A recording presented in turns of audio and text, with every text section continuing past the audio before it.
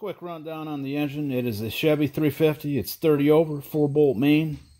Has 4 valve relief flat top pistons. It's 9.7 to 1 compression. It runs a stock X rod with ARP rod bolts. A cast 2442 stock crankshaft. Has 60 thousandths piston head clearance. It runs a 564th ring package. It has the Summit self-aligning rockers 1.5 ratio. I'm running a Jegs LS6 valve spring. Installed height is a 1.75. Has 115 seat pressure and 295 open pressure. I'm running a GM single plane intake 124-865-74. Topped off with a Holley 750 double pumper HP. Alright, I'm running a Howard solid flat tap tappet camshaft in this motor. It's got 254 degrees of intake duration of 50 thousandths left and 260 degrees of exhaust duration at 50 thousandths left. On a 106 lobe separation, 515 left both sides. I'm running a Howard's 91118 lifter. It's got a 21 thousandths hole in the middle of the lifter to oil the camshaft. I did this because I planned on uh, street driving the car. All right, the heads are 906 casting Vortec. I have lapped the stock valves in. The heads came off a heavy-duty truck. They have a large exhaust seat insert and a one-angle valve job on the exhaust side. It came like that from the factory. What I did to the heads is I smoothed out the valve seat transitions, taking out the uh, sharp edges right right around here and right in here. I did open up the exhaust seat insert a little bit to try to get more flow out of it. But other than that, the heads are stock. All right, my expectations when I first put this combination together, I thought it was going to be the quickest out of my 9 to 1 Vortec headed 350s and my Nova. Since then, the 906 Vortec heads like these with the exhaust seat insert have underperformed. I also started to question my camshaft choice, having a large cam with low compression and a low stall converter for the camshaft. If this combination runs 1170s, I'll be happy, and it'll be the quickest of my 350 headed Vortec engines. If not, it's back to the drawing board. Let's see how this does at the track.